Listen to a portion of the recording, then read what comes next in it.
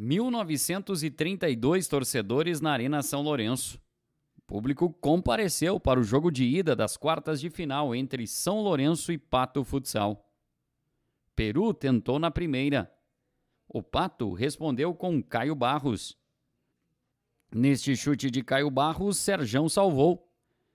Caio Barros teve outra grande chance na falta, mas ela foi na trave o São Lourenço reagiu com boas chances de dar e si e pressionou o Pato. Tanto é que na jogada de Claudinho, a defesa do Pato deu rebote e Gurgel superou Johnny. 1 a 0 São Lourenço, gol de Gurgel. O Pato tentou empate com Caio Barros. Neste lance, Duduzinho quase empatou. Mas o primeiro tempo terminou com vantagem do time da casa, 1 a 0 São Lourenço. Na volta do intervalo, o Pato dominou as ações. Foram várias finalizações à meta de Serjão. Tom fez esta boa jogada pela esquerda, mas o goleiro do São Lourenço salvou.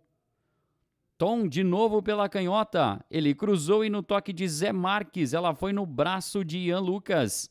Pênalti para o Pato. Na cobrança, Tom. O camisa 10 empatou o jogo. 1 a 1 para a festa da torcida patobranquense.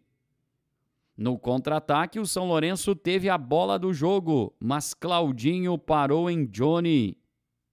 Depois veio o contra-ataque para o Pato. Neguinho atravessou a quadra e fuzilou o goleiro Serjão. 2 a 1 Pato Futsal. Na reta final foi segurar a pressão e confirmar a vitória. São Lourenço 1, Pato Futsal 2.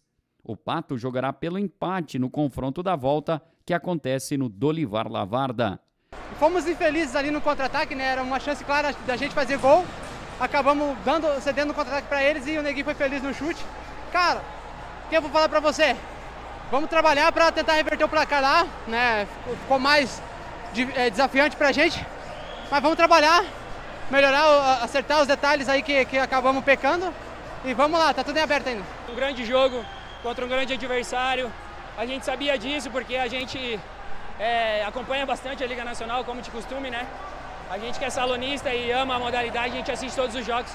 Eles enfrentaram grandes equipes aqui durante o ano, nos venceram na primeira fase. A gente veio com muito respeito, pé no chão. Fomos premiados no contra-ataque em sair e ampliar essa vantagem, mas a chave já muda porque não tem nada definido.